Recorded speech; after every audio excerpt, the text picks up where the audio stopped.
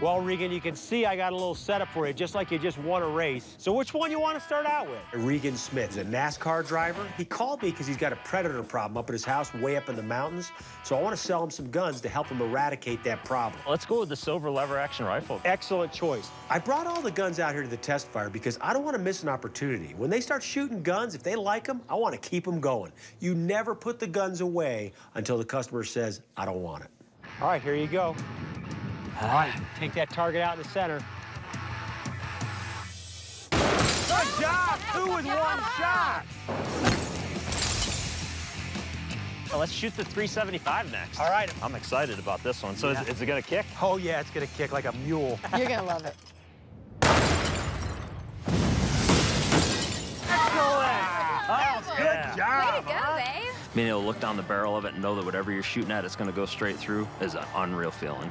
We only got the top row left now. You know what that means, right? Oh, yeah. But I got big shoes to fill now, though. That's a tough act to follow.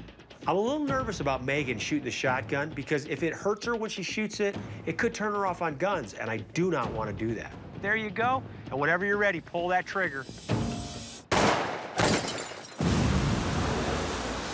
Oh, yeah! Two with one shot! How was that, I love how excited Megan was when she shot that shotgun, and I know this gun sold. so what do you guys think? You shot some guns, everything's hitting hard. You know, I, I like the sniper rifle. The 30-30 was awesome. But the 357, I'm not leaving without that. Sounds like you want a shotgun now, don't you? Hell yeah, I want a shotgun. you go, girl. I love that. What, uh, I, we're gonna have to get them all.